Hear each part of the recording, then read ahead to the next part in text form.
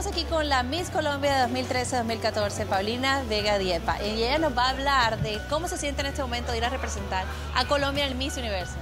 Bueno, te cuento que aparte un poquito de nervios, pero muy, muy emocionada, esperando ver la gran noticia de cuál es la sede y cuál es la fecha, pero te, contando, te quiero contar que me estoy preparando muy bien y tengo un muy buen presentimiento. Este que están viendo también es de Alfredo Barraza, como pueden ver, espectacular, y el que desfilé fue el que usé en el Miss Colombia, en el cual obtuvo un gran puntaje y también va a ser mi diseñador para el Miss Universe. Definitivamente va a ser todo espectacular y les va a llamar la atención. Bueno, y desde pequeñita, ¿esto fue tu sueño, convertirte en Miss Colombia? Eh, sí, yo creo, pues cada vez con los años se fue consolidando, consolidando este sueño, pero siempre me imaginaba concursando en, en Reinado. Bueno, entonces muy feliz de poder representar ahora a Colombia.